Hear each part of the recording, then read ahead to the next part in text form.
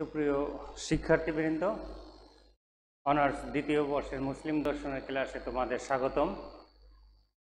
ইতিপূর্বে আমরা মুসলিম দর্শন কি, মুসলিম দর্শনের গতি প্রকৃতি, মুসলিম দর্শন, ধর্মতত্ত্ব ইত্যাদি বিষয় সম্পর্কে সংক্ষিপ্ত পরিসরে কিছুটা আলোচনা করেছে।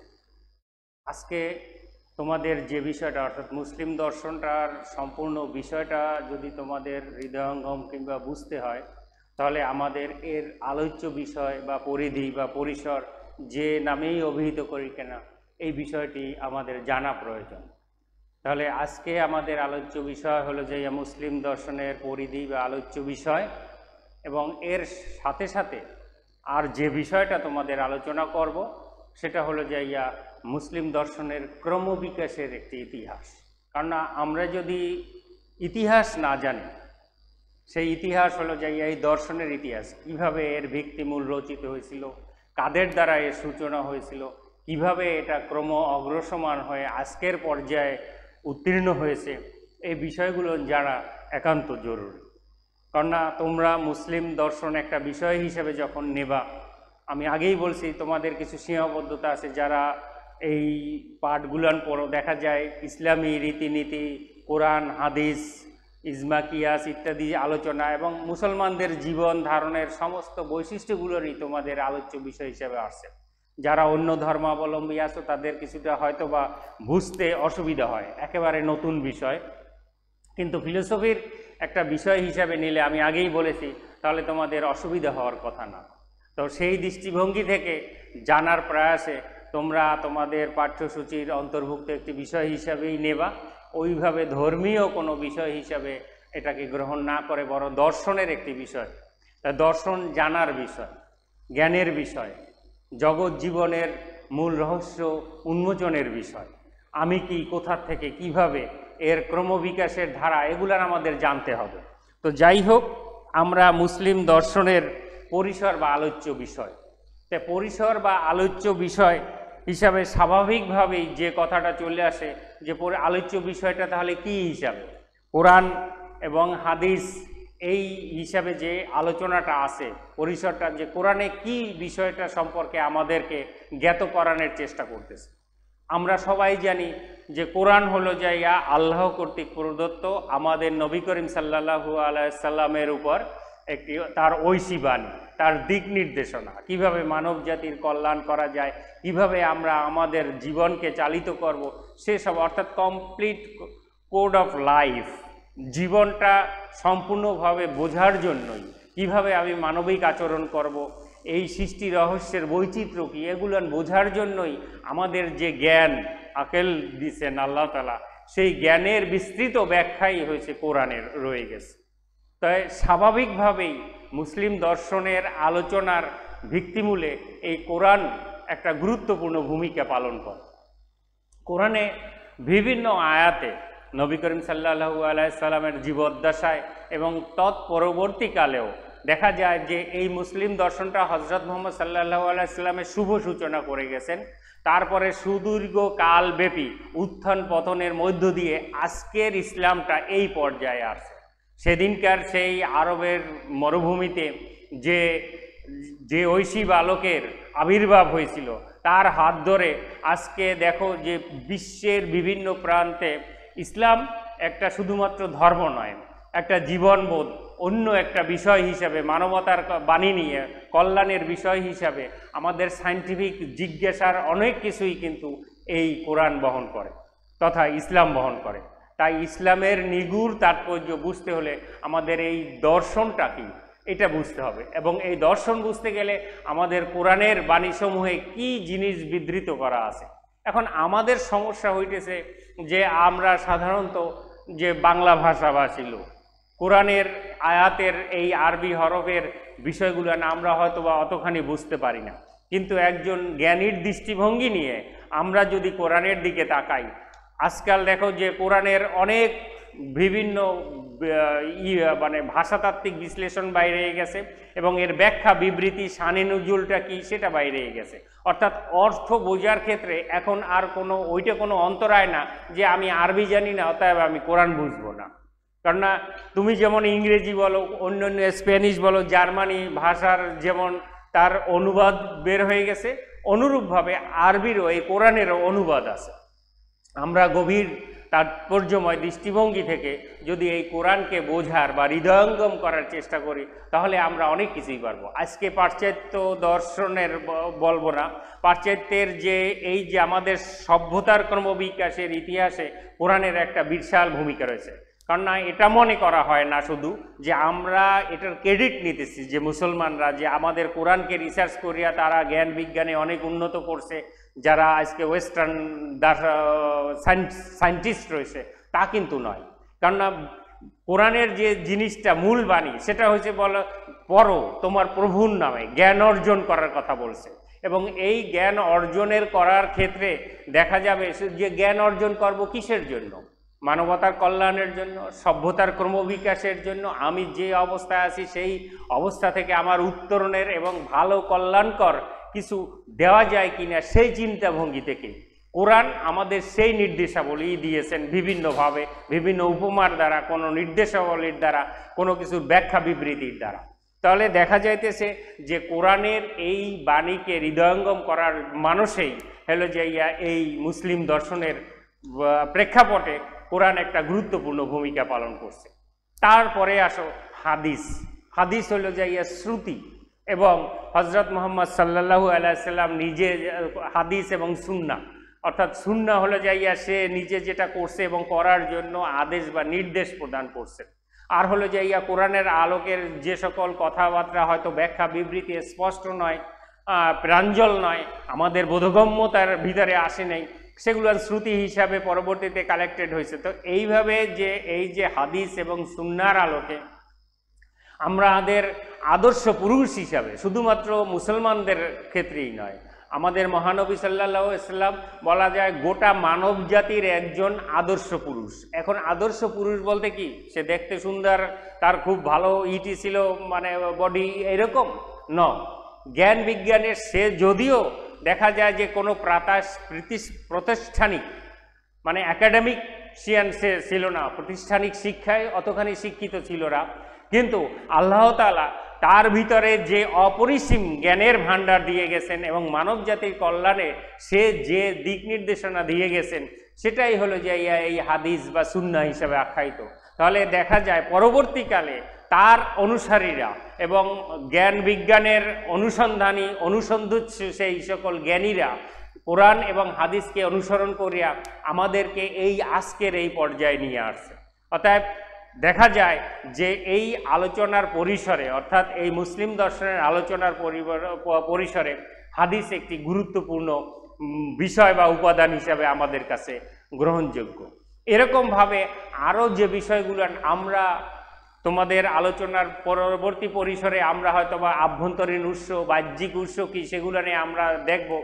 তারপরেও যে বিষয়টা দেখা যায় যে জ্ঞানীর যে বিষয়গুলো আছে, আল্লাহর একত্ব, কোরআনের নিত্যতা, আল্লাহর গুণাবলী, এই সকল বিষয়, সুফি, মরমিবাদ, মানবতাবাদ, এই বিষয়গুলো দেখ- যায় যে দর্শনে চলে আসছে এখন কেন চলে আসছে সাহিত্য, কবিতা জ্ঞান বিজ্ঞানের যে বিভিন্ন আলোচনা এগুলোও দেখা যায় যে মুসলিম দর্শনে তাদের আলোচনার পরিসরে চলে আসছে। কেন চলে আসছে? যে মুসলমান জাতি শুধুমাত্র তাদের ধর্মীয় চিন্তা ভাবনা দ্বারাই অনু মানে অনুপ্রাণিত ছিল না। কারণ না আস্তে আস্তে হজরত মোহাম্মদ সাল্লাহ আলাইসাল্লামের মৃত্যুর পরবর্তী সময়ে দ্রুত বেগে ইসলামটা শুধুমাত্র যে ওই আরবীয় মরুভূমি থেকে ভিতরে সীমাবদ্ধ রয়েছে তা কিন্তু না। সেটা আস্তে আস্তে সুদূর আফ্রিকা পর্যন্ত, এদিকে স্পেন পর্যন্ত ইউরোপের এই পর্যন্ত, আমাদের এই উপমহাদেশ পর্যন্ত, অর্থাৎ আস্তে আস্তে দেখা যায়, একটা কালিক পরিক্রমায় ইসলামী চিন্তা ভাবনাগুলান ধর্মীয় চিন্তা ভাবনাগুলান একটা ব্যাপক প্রসার লাভ করছেন। সেখানে আব্বাসীয় খেলাফতে পর পার্শ্বিক যে সাম্রাজ্য ছিল, যাদেরকে আমরা পারস্য এই পার্শ্বিক যে সাম্রাজ্যের কথা বলি, যে সেটা আজকে যেটা ইরান, সেই ইরানকেই আমরা পারস্য সাম্রাজ্য হিসেবে অভিহিত করে থাকি। সেই পারস্য সাম্রাজ্যটাও কিন্তু এই মুসলমানদের মানে করতলগত হয় হজরত মোহাম্মদ সাল্লা সাল্লামের মৃত্যুর পরে। তাই সেখানে পারস্যরা ছিল, আবার দেখা যায় যে তারা হলো যাইয়া অগ্নি উপাসক জয়ত্রিষ্ঠ ধর্মাবলম্বী। এরা যখন মুসলমান ধর্ম গ্রহণ করে, তাদের কিছু কৃষ্টি কালচার সভ্যতা, সেগুলো আমাদের ইসলাম ধর্মের ভিতরে চলে আসে। অর্থাৎ সমন্বয় সাধনের যে একটা প্রচেষ্টা। আবার দেখা যায় মিশর যখন প্রধানত হয় মুসলমানদের হিসাবে, তখন সেখানে যে অন্যান্য যে সভ্যতার কর্ম বিকাশটা ছিল, ওদের মানব জাতির আলাদা। ওদের দেখা যায় যে- তাদের কৃষ্টি কালচারগুলান আলাদা সেগুলোরও কিন্তু মুসলমানদের ভিতরে চলে আসে এবং গ্রিস স্পেন এই সকল বিজয়ের মাধ্যমে দেখা যায় যে অন্যান্য যে খ্রিস্টীয় ভাবধারা কিংবা খ্রিস্টীয় পূর্ব যে ভাবধারাগুলান ছিল সেগুলানো মুসলমানদের এই দার্শনিক আলোচনার ভিতরে চলে আসে। তাহলে শুধুমাত্র যে এখন এই যে বললাম, গ্রিক সভ্যতা এখন এই গ্রিক সভ্যতা, অর্থাৎ গ্রিক রাষ্ট্রের যে পতনের পরে, কিংবা তাদের যে ক্ষয়িষ্ণু রাষ্ট্রীয় ব্যবস্থার পরে, পরবর্তীতে তারা যখন ইসলামের ছায়াতলে আসে, তখন তাদের যে চিন্তা ভাবনা সেই গ্রিক ফিলোসফার, তোমরা ইতিমধ্যে প্রবলেমস অফ ফিলোসফিতে তোমরা দর্শনের বিভিন্ন কয়েকটা যুগ সম্পর্কে তোমরা অবহিত হয়েছো, প্রাচীন যুগ মধ্যযুগ আধুনিক যুগ এবং সমকালীন। সেই প্রাচীন যুগের আলোচনায় আমরা সাধারণত ওয়েস্টার্ন ফিলোসফাররা যে বিষয়টা আলোচনা করি, সে বিষয়টার ভিতরে আমরা দেখি যে সক্রেটিস প্লেটো অ্যারিস্টোটাল কিংবা তারও আগে Thales Anaximander Anaxagoras Protagoras Gorgias এই সকল অভিজ্ঞতাবাদী দার্শনিকদের বিভিন্ন চিন্তা ভাবনাগুলান অর্থাৎ প্রাচীনকালের দর্শনটা যেখানে ছিল অনেকটা দেখা যায় জড়বাদী খুব একটা মূর্তি, তাদের মূর্তি পূজা, দেবদেবীর পূজা, এরকমভাবে অদৃষ্টবাদীর উপরে অনেকটা ছিল। এবং আরবীয় যুগে যে ব্যাপারটা ছিল, সেখানে অদৃষ্টবাদী, জড়বাদী এবং ভোগবাদী, সুখবাদী চিন্তা ভাবনা সেগুলান থেকে আস্তে আস্তে যখন ইসলামের ছায়াতলে এই বিষয়গুলান চলে আসে, তখন কিন্তু একটা সমন্বয় সাধন হয়। কেননা একটা সভ্যতা, আরেকটা সংস্কৃতি যখন আরেকটা সভ্যতার সাথে এসে মিশে, তখন কিছু গ্রহণ পরিবর্ধন পরিবর্ধন হইয়া একটা নতুন রূপ পরিগ্রহ করে। তাহলে ইসলাম কিন্তু সেখানে সে তার পথ থেকে বিচ্যুত হয় নাই। অর্থাৎ আল্লাহর প্রতি অবিচল বিশ্বাস হজরত মুহাম্মদের নির্দেশ, এই দুইটা মূল থিমের উপর তারা কিন্তু এখান থেকে বিচ্যুতি হয় নাই। অর্থাৎ আমরা যেন মনে করি না যে ইসলাম শুধুমাত্র সমন্বয় করে গেছে, অর্থাৎ যেটা ভালো সেইটা মানে গ্রহণ করে, যেটা খারাপ সেইটা বর্জন করছে, সেরকম কিছু না। ওইখানে ঠিক আছে, যেটা খারাপ সেটা পরিত্যাজ্য, যেটা ভালো সেটা গ্রহণ করার কথা বলছে, এবং জ্ঞানের বিষয়টার উপরে জোর দিছে এমফেসিস দিছে এইখানে যে তোমরা কোরআনের নির্দেশ, যে পড়ো তোমার প্রভুর নামে, কিংবা জ্ঞান অর্জন করো কিংবা আমরা সেই হাদিসের দিকে যদি তাকাই যে একজন জ্ঞানের কলে, কলমের কালি শহীদের রক্তের চেয়ে উত্তম, একজন জ্ঞানীর মানে এক রাতের এবাদত বা জ্ঞান তপস্যা হাজার বছরের এবাদতের চাইতে উত্তম, এই যে হাদিসগুলানের দ্বারা আমাদের নবী কি ইঙ্গিত দিয়ে গেছেন কিংবা কি বুঝাই, বুঝাতে চেষ্টা করেছেন সেগুলান আমাদের জানার বিষয়।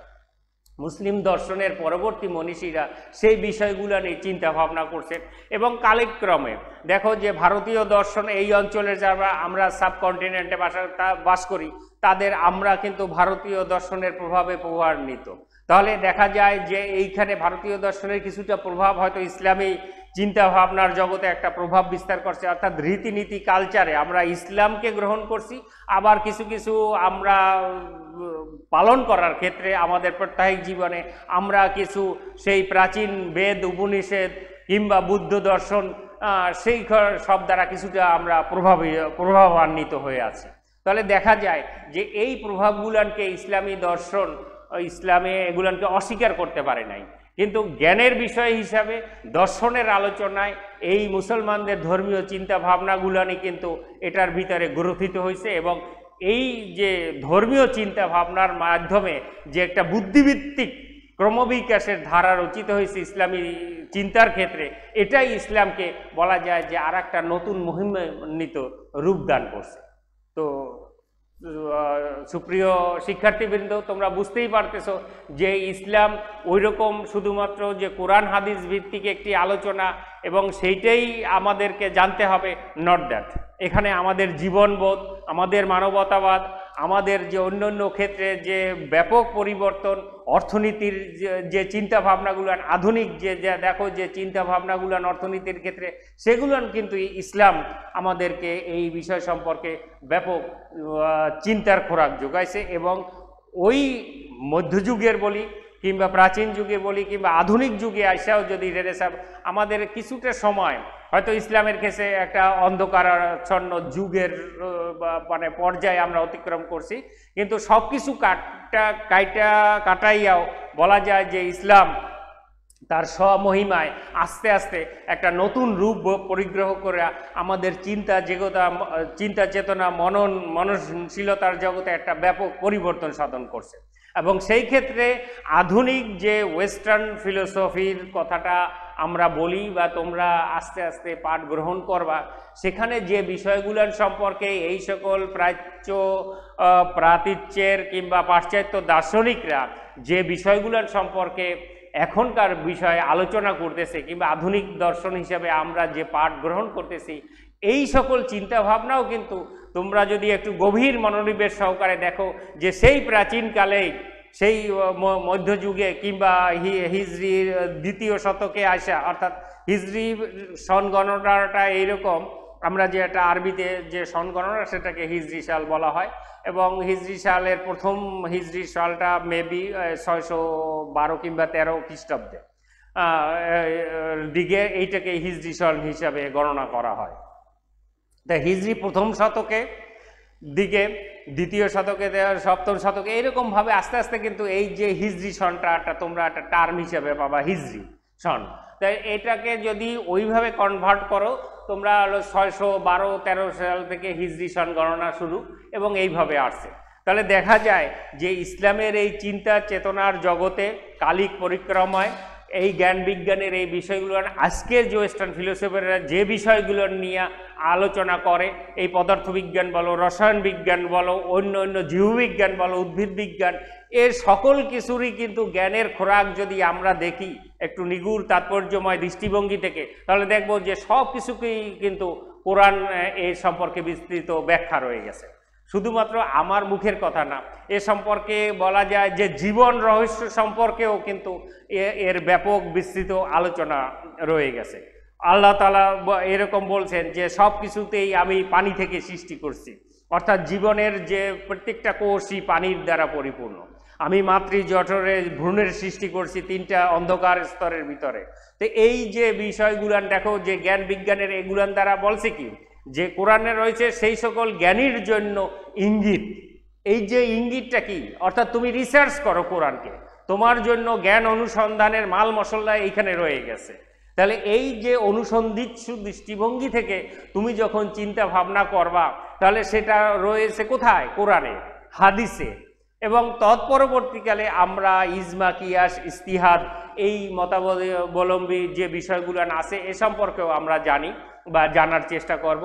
তো যাই হোক, আমরা আমাদের আলোচ্য পরিসরে, অর্থাৎ এই মুসলিম দর্শনের আলোচ্য পরিসরে যে কোন বিষয়টা, কোরআন যেমন আলোচনা করে, হাদিসের যে অন্তর্নিহিত তাৎপর্যগুলো আলোচনা করে, জীবন জগতের নিগুড় রহস্য উন্মোচনের ক্ষেত্রে এবং বিভিন্ন সভ্যতা সংস্কৃতির বিকাশের ক্রমবিকাশের ইতিহাসে মানব সভ্যতাকে যে বিষয়গুলো আন্দোলিত করছে, সেই বিষয়গুলোরও কিন্তু মুসলিম দর্শন আলোচনা করে। শুধুমাত্র কোরআন, হাদিস নিয়েই কিন্তু থাকে নাই।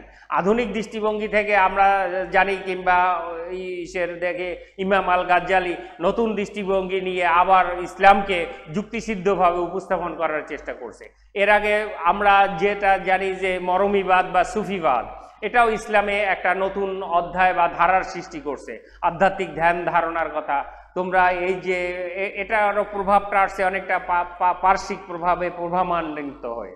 তাহলে দেখা যায় যে এই যে মরমী বা বা আধ্যাত্মিকতা কিংবা নিগুড় ধ্যানের অনুশীলনের মাধ্যমে আত্মা মানে নিজের আত্মা আল্লাহর সাথে বিলীন করে দেওয়ার যে চিন্তা ভাবনা এই যে সুফিবাদী চিন্তা ভাবনা এগুলান মুনি ঋষিরা যেরকম এই অঞ্চলের করছে এগুলান দেখা যায় যে পার্শ্বিক প্রভাবে প্রবর্ণিত হয়েছে এগুলারও ইসলামের চিন্তা ভাবনায় চলে আসছে। জ্ঞান বিজ্ঞান চিকিৎসা শাস্ত্রে ইবনে সিনার বলা যায় যে যে বিশাল তার যে কানুন তিব মানে চিকিৎসা শাস্ত্র সম্পর্কে, সেটা দেখা যায় ইউরোপে চিকিৎসা বিজ্ঞানের বাইবেল হিসেবে সেটাকে পাঁচশো বছর পর্যন্ত আধুনিক এই মডার্ন মানে যে মেডিকেল সায়েন্স সেটা যতখানি না ডেভেলপ করছে, সে সময় কিন্তু তার এই চিন্তা ভাবনাগুলান কিন্তু ব্যাপকভাবে আলোড়িত হয়েছে। নবমণ্ডল ভূতাত্ত্বিক আলোচনা, সমুদ্র নিয়ে গবেষণা, এগুলোন কিন্তু ইসলামী চিন্তায়, অর্থাৎ পদার্থবিদ্যা, জ্যোতির্বিজ্ঞান, এগুলান কিন্তু ইসলামী চিন্তারই আধুনিক ইসলামী চিন্তারই এখন পরিবর্তিত রূপ। অতএব বুঝতেই পারতেছো যে মুসলিম দর্শনকে আমরা যেন ওইভাবে কোণঠাসা না করি যে এটা হলো কোরআন হাদিসের বাণী এবং কোরআন হাদিস নিয়েই তারা রয়ে গেছে। সেটা বলে বলা যাবে একটা ভুল সিদ্ধান্ত হবে এবং আমরা বলা যায় যে আমাদের জ্ঞানের সীমাবদ্ধতা দ্বারা আমরা গভীর মানে তাৎপর্যময় দৃষ্টিভঙ্গি থেকে যখনই ইসলামের দিকে তাকাবো, তখনই দেখব যে জ্ঞানের এমন কোনো বিষয় নাই যেটা এই ইসলাম মুসলিম দর্শন আলোচনা করে নাই কিংবা কোরআন হাদিসে নাই। অর্থাৎ ওই ঘুরে ফিরে এক কথাটাই আসে যে কোরআন হাদিসের ভিতরে আমাদের সমস্ত সৃষ্টি রহস্যের যা কিছু বৈচিত্র্য আছে, সমস্ত কিছুই এখানে আলোচনার বিষয়টা আছে। তাই দেখা যায় যে মুসলিম দর্শনের আলোচনায় এই সমস্ত বিষয়গুলো নিয়ে চলে আসছে। শুধুমাত্র কোরআন, হাদিসের আলোচনায় নাই। আমাদের সমাজ, সংস্কৃতি, আমাদের রাষ্ট্র পরিচালনার পরিবর্তন, সমস্ত কিছুই এই ইসলামী দর্শনের তথা মুসলিম দর্শনের মধ্য দিয়ে পরিস্ফুটিত হয়েছে এবং এই বিষয়গুলো নিয়ে হলো যে আমাদের মুসলিম দর্শনের আলোচনার বিষয়। এখন আসো, মুসলিম দর্শনের ক্রমবিকাশের একটি সংক্ষিপ্ত ইতিহাস। আমরা ইতিহাসটা জানি। যে, ঠিক আছে, দার্শনিক আলোচনা হয়েছে এত এত বিভিন্ন সাইডে তারা আলোচনা করছে, এর একটা পর্যায়ক্রমিক। আমরা পাশ্চাত্য দর্শনের দিকে যখন তাকাইছি, আমরা যেমন প্রাচীন যুগ দেখছি মধ্যযুগ দেখছি, এবং এই প্রাচীন যুগে সেখানে হলে যাইয়া গ্রিস মানে খ্রিস্টের জন্মের ছয় শব্দ থেকে থ্যালিস থেকে একেবারে পুরা সক্রেটিস, প্লেটো, অ্যারিস্টোটাল পর্যন্ত যদি আমরা চলে আসি তৎপরবর্তীতে যুগের কিন্তু দর্শন সম্পর্কে সেরকম কিছু আর জানি না। এই যুগটাই কিন্তু ইসলামের একটা বিরাট ব্যাপক জাগরণের যুগ এবং এই ইসলামের বিকাশের যুগ, ডেভেলপমেন্টের যুগ। পরবর্তীকালে দেখা যাবে যে এই যে বারোশো মানে তোমার হিজরি ছয়শো উনিশ খ্রিস্টাব্দে একটা ব্যাপক পরিবর্তন হয় বা মানে তেরোদশ শতাব্দীর মাঝামাঝি সময় কিংবা প্রথম দিকে বা- বারোশো সালের পরবর্তীতে, অর্থাৎ ইসলামের একটা, কিছুটা অন্ধকার যুগ নামে আসে এই কারণে যে দুর্ধর্ষ, যে মঙ্গলীয় দস্যুরা ইসলাম আব্বাসীয় খেলাফতের পতন, যেটাকে বলা হয়, যে এর আগে কিন্তু দেখো হজরত মোহাম্মদের পতনের পরে ইমাম হাসান আল বসরি এবং অন্য অন্য জ্ঞানবিজ্ঞানী এরা যেভাবে ইসলামের বিভিন্ন কেতাবসমূহ সংরক্ষণ করছে, অনেক জ্ঞান বিজ্ঞানের আলোচনা করছে সেগুলোকে বলা যায় যে মানে ইউফ্রিতিস এবং তাইগ্রিস নদী সেই মঙ্গোলীয় মানে মঙ্গল দস্যুদের দ্বারা এমনভাবে ধ্বংসপ্রাপ্ত হয়েছে যে সেখানে এবং জ্ঞানী গুণীদের মাইরে ফেলানো হয়েছে যে সেখানের পানি মনে করা হয়তো যে এরকমভাবে রক্তগঙ্গা বইয়া বয় দেওয়া হয়েছে। তো এরকমভাবে অনেক মানে নাম করা বইয়ের আমরা আর কোনো হদিস পাই নাই। পরবর্তীতে, এর পরবর্তীতে আবার চেঙ্গিস খানের পৌত্র মানে নাতি হালাকু খান কর্তৃক আরও ব্যাপক ধ্বংসযজ্ঞ চালানো হয়েছে। তো বারে বারে ইসলামের উপর এই আঘাতটা আসছে। আসার পরে এই যে তা, এই শতাব্দীর ই পর্যন্ত দেখা যায় যে পরবর্তীকালে, এই বারোশো সালের পর থেকে প্রায় আঠারোশো সাল পর্যন্ত একটা অন্য যুগ গেছে, অর্থাৎ ইসলামের উপর একটা ব্যাপক চাপের পর্যায়ে গেছে। সেখানে আর খুব একটা ডেভেলপমেন্ট হওয়ার সুযোগ আসে নাই। পরবর্তীকালেই আঠারোশো সালের পরে উনিশ শতকের এই বিশ মানে বিশ শতক, উনিশশো সালের পরবর্তীতে আইসাটা রেনেসা বা নবজাগরণের সৃষ্টি হয়েছে। তাহলে এইগুলো নিয়ে ধারাবাহিক পর্যায়ের আলোচনাটা আমরা কিছুটা করি। সেটা হলো প্রথম যুগ। প্রথম হিজরি, অর্থাৎ সপ্তম শতাব্দী বাগদাদের পতন পর্যন্ত। বাগদাদের পতন মানে বারোশো উনত্রিশ খ্রিস্ট সরি বারোশো উনিশ খ্রিস্টাব্দে বা ছয়শো ষোলো হিজরিতে। এই যে এইখানের যে যুগ, সেখানে প্রথম হিজরির দ্বিতীয়ার্ধে ইমাম হাসান আল বসরি এখানে যে সূচনা করছে, ইমাম হাসান আল বসরির অবস্থানটা আমরা যদি দেখি যে ছয়শো বিয়াল্লিশ থেকে সাতশো আঠাইশ খ্রিস্টাব্দে। এখন এই যে ইমাম হাসান আল বসরি আশারিয়া যে, যে- সম্প্রদায়ের যে প্রতিষ্ঠাতা, এরা যে বিষয়গুলো নিয়ে আলোচনা করছে, প্রাচীন যু মানে ইসলামের প্রাক, ইসলামের যুগের যে দর্শন নিয়ে আলোচনা, সেখানে ইচ্ছা, স্বাধীনতা, কোরআনের কোরআনের নিত্যতা আল্লাহর একত্ব, এই সকল বিষয় নিয়ে আলোচনা হয়েছে এবং এর আলোচনার পরিব্যক্তির সাথে সাথে এই আশারিয়া, কাদারিয়া, জাবারিয়া তারপরে মুতাজিলা, এই সকল সম্প্রদায়ের আমরা উদ্ভব দেখি। এই সকল সম্প্রদায় কিন্তু কোনো হানাহানি মারামারি না। জ্ঞানীয় অর্থাৎ কোরআন হাদিস ভিত্তিক তারা কিন্তু ব্যাপক আলোচনা করছে। কেউ কেউ আল্লাহর কালামকে অগ্রাধিকার দেশে কেউ কেউ আবার দেশের যে আমাদের জ্ঞানের বিষয়ের উপর ঐশী প্রত্যাদিষ্টের উপরে, আমাদের নির্ভর করে, যুক্তির উপরে কেউ গুরুত্ব আরোপ করছে।